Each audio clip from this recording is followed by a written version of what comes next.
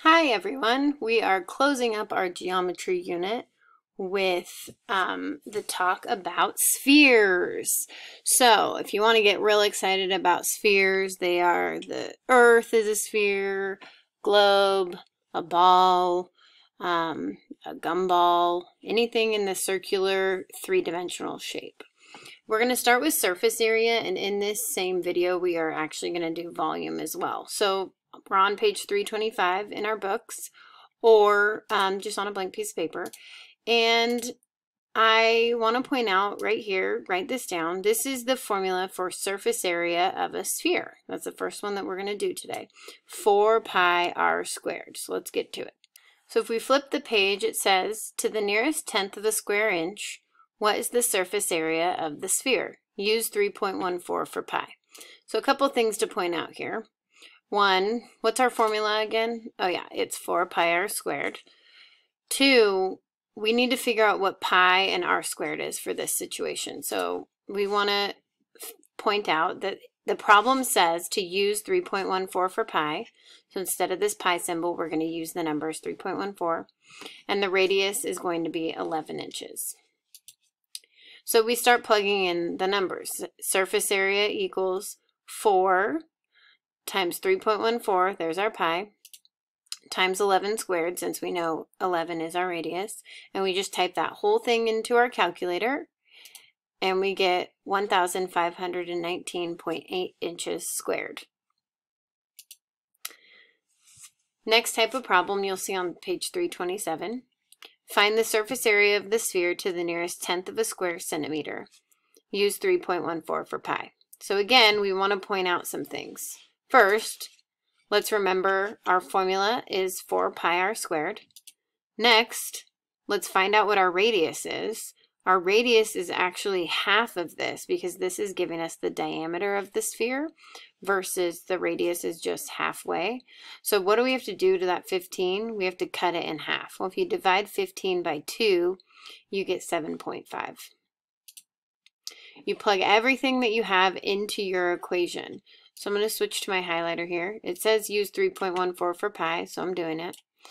Radius is not 15, it is 7.5, and I'm still going to square it.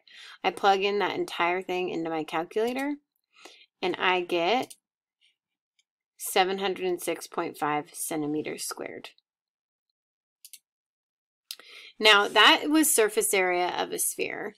Volume of a sphere the formula looks a, a, little bit different. I'm just going to point this out. Like if you want to pause right here and just sort of like look at this little cheat sheet I have, this is just the formula up here for volume and surface area. And then here's both examples. So here's a sphere with 8 centimeter radius.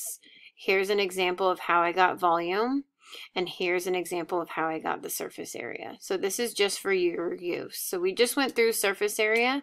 We are now going to do volume. So volume is if we are going to be filling up our sphere with something. Here we go.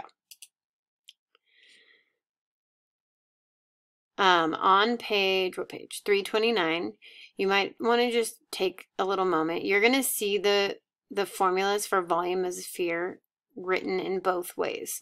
These are equal. These two things equal the same thing. So if you see the four thirds like this, or if you see it like this, they mean the same thing. We're also going to notice that there is a cube in this one. So volume, things get cubed. That's the easiest way to remember it. Uh, surface area, things get squared. So that's the easiest way to remember that with the volume of a sphere, you're actually going to use a cube here, and I'll remind you of how to type that into your calculator in a second. So here's our first example. Find the volume of the sphere to the nearest cubic inch, so that's the nearest whole. Use 3.14 for pi. Okay, what do we need to remember? We need to remember, here's our formula. Volume equals 4 pi r cubed, all divided by 3. We need to point out that they want us to use 3.14 for pi. And we need to point out that our radius is 17. So when we go to type this into our calculator, those two numbers get substituted in. Let's write it down. So here we have the whole vo volume formula. 4 times 3.14 times 17 cubed, and then that whole thing gets divided by 3. Now, of course, I tested this, and I'm going to show you what it looks like on the calculator. This is just if you Google calculator, 4 times 3.14 times 17 cubed, eh, all divided by 3.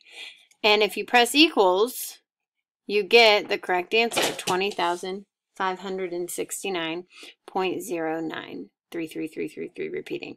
Well, it says to round to the nearest whole, so my answer is actually going to be, we'll click back over here, 20,569. Don't forget the units, inches cubed. Now, why did I highlight this? Because you're going to want to type all of this first and then divide that whole thing by 3. If you're not using a Google calculator, if you're just using a scientific calculator, you're going to want to press the equal sign right after you type in all three of these terms here and then divide by 3. Let's go back over here in case you forgot how to type in a cube. So in this problem, we are cubing 17. So you type 17.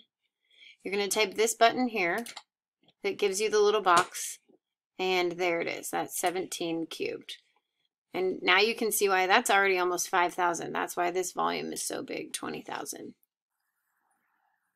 Okay, let's try one more. This one's kind of a unique uh, problem. It's saying to the nearest tenth of a cubic millimeter, what is the volume of the sphere that appears when a nickel is spinning? So they give you this picture of a nickel, and if you've ever like flipped flicked a coin on a table and it spins, it's creating a sphere.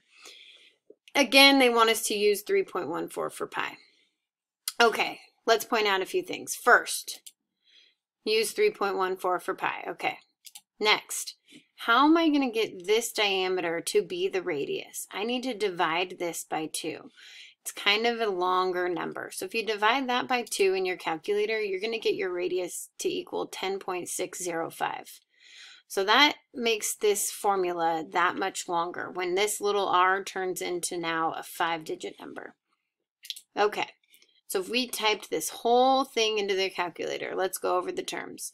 Volume is 4, always going to be 4 pi, or 3.14, 10.605 cubed, all divided by 3. You type that whole thing into your calculator, and hopefully you're going to get um, what I get. Here we go. You should be getting 4,993.4 millimeters cubed.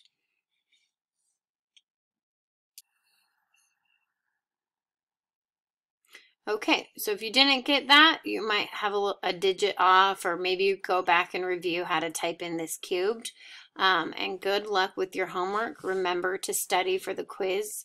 That is in a couple days.